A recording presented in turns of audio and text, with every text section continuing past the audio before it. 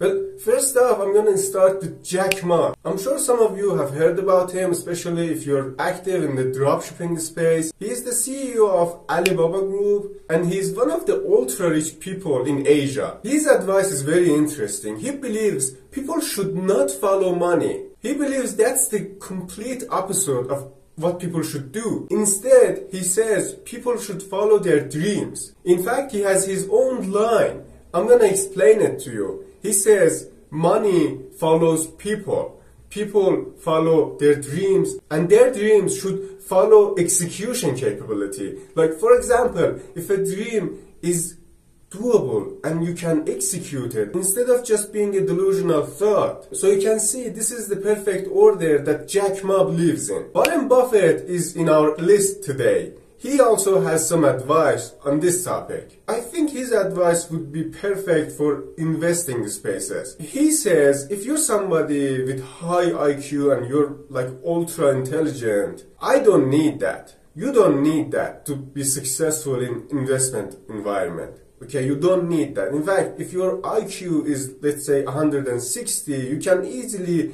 give 40 of it away. And it's actually beneficial for you. And the reason why he believes that investment is a pretty long-term game and you want to optimize for long term. Instead of looking for making millions of dollars like in the tomorrow in the next week what you need to do is optimize for staying enough in the game staying long term in the game because that's where the compound interest comes into game. In fact that is what made him a billionaire. So he heavily insists on playing long term and focusing on staying in the game not losing instead of gaining some millions or not looking dumb instead of looking so smart.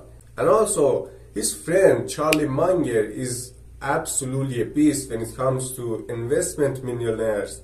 In fact, I, I, should say billionaires. He believes the same too. He says, let's say you start to buy some businesses here and there or piece of businesses like buying stocks. If you live long enough, you will be a millionaire or billionaire. Yeah, Charlie and Warren are pretty old school when it comes to this and they don't suggest any short-term ways. But let me know in the comments which one was your favorite? The one from Jack Ma, Charlie Munger, or Warren Buffett. That's it for today's video. Thanks so much for sticking until the end of this video. If you learned something new, please do hit that like button because it helps me with the algorithm a lot. I wish the best for you wherever you are and I see you in the next one.